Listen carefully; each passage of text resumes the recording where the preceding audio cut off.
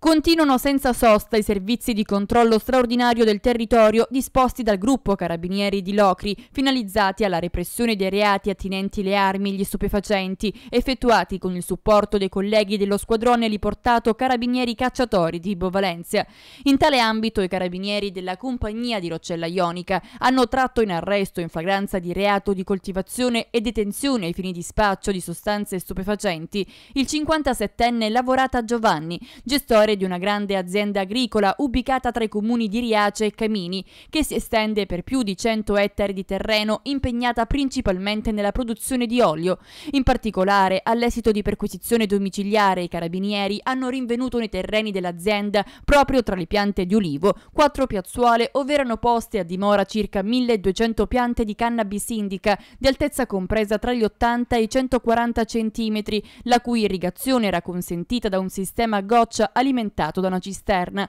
una piazzuola ove vi erano i semi germogliati di ulteriori 700 piante. Nella circostanza, nel corso dell'attività di polizia giudiziaria, da un'attigua struttura adibita a deposito in uso a lavorata, sono stati rinvenuti, inoltre, quasi 3 kg di marijuana già essiccata, diverse buste in cellofan trasparente per l'imballaggio, una bilancia da precisione digitale, una macchina marca per il confezionamento sottovuoto. L'intero materiale rinvenuto è stato sottoposto a sequestro, ad eccezione produzione delle piante che previa campionatura sono state distrutte in loco. L'arrestato, su disposizione del sostituto procuratore di turno presso il tribunale di Locri, il dottor Rocco Cosentino, è stato tradotto presso la casa circondariale di Locri.